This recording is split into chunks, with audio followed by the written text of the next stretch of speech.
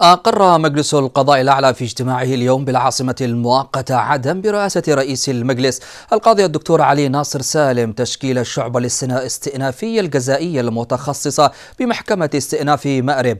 وجاء تشكيل الشعبة الاستثنائية الجزائية المتخصصة في محكمة استئناف مأرب على النحو التالي.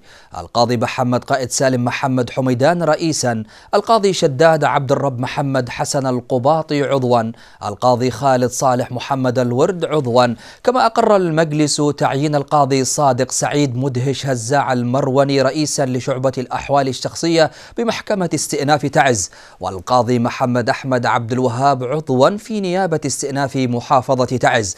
وأقر المجلس أيضا تعيين كل من القاضي أدهم سعيد عباد العولقي رئيسا للنيابة الاستئنافية الجزائية المتخصصة بمحافظة عدن. القاضي صالح أحمد فرج مدحقي رئيسا لنيابة استئناف محافظة شبوة. القاضي أحمد محمد حمود أبو إصبع رئيسا للمحكمة الابتدائية الجزائية المتخصصة بمحافظة مأرب. القاضي يحيى محمد السعيدي عبيد بلعيد قاضيا في المحكمة الابتدائية الجزائية المتخصصة بمحافظة عدن. القاضي عبد الكريم محمد الشجاع عضوا في نيابة غرب تعز الابتدائية. القاضي عبد الجليل محمد أحمد قائدا عضوا في نيابة الأموال العامة بمحافظة تعز.